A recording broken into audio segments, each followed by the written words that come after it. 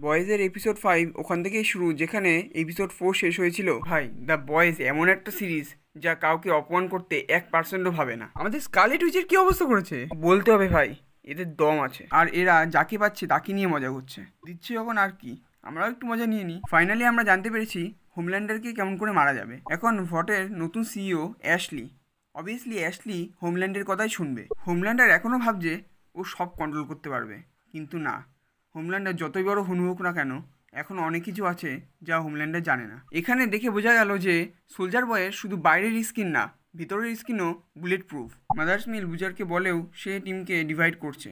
তখন বুচার বলে, হোমল্যান্ডারকে মারতে হলে আমাদের সবাইকে ভি টোয়েন্টি ফোর নিতে হবে। লাস্ট ফাইট হয়তো হোমল্যান্ডারের সাথে সোলজার বয়ের হতে পারে।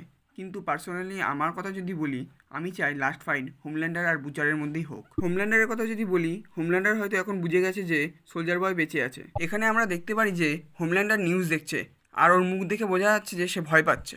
এখানে স্টারলাইট বলে যে আমরা এই সুপের সাথে ডিল করি, কিন্তু হোমল্যান্ডার স্টারলাইটকে একাই যেতে বলে। হোমল্যান্ডার হয়তো বুঝতে পেরে গেছে যে সোলজার বয় এমন একটা স্যুপ যে তার ক্ষতি করতে পারে। আমরা এপিসোড ফোরে দেখেছি যে সোলজার বয় কিমিকোর ওপর পাওয়ার ইউজ করেছে বলে কিমিকোর পাওয়ার চলে গেছে। আমরা এখনও জানি না যে কেমন করে বুচা সোলজার বয়ের সাথে ডিল করেছে। কিন্তু আমরা জানি, কোনো মতলব ছাড়া সোলজার বয় বুচারের সাথে কোনো ডিল অ্যাকসেপ্ট করবে না। এই কোশ্চেন হয়তো পরের কোনো এপিসোডে দেখতে পাবো। এই সিজনের প্রত্যেকটা এপিসোড আমার দারুণ লেগেছে।